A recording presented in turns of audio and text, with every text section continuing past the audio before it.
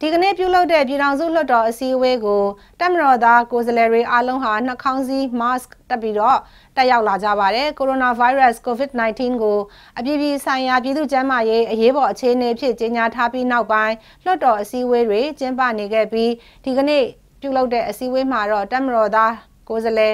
166ဦးလုံးက mask တက်ပြီးတော့တက်ရောက်လာခဲ့ကြတာပါတက်မတော်အနေနဲ့အခုနှစ်မတ်လ29ရက်မှာပြုလုပ်မဲ့ တမတော်နှစ်85နှစ်မြောက်အထိမ်းအမှတ်အခမ်းအနားကိုလည်းခေတ္တဆိုင်းငံ့ထားမှာဖြစ်တယ်လို့မက်လာတရနေ့ကထုတ်ပြန်ကြေညာထားပါတယ်ရှင်။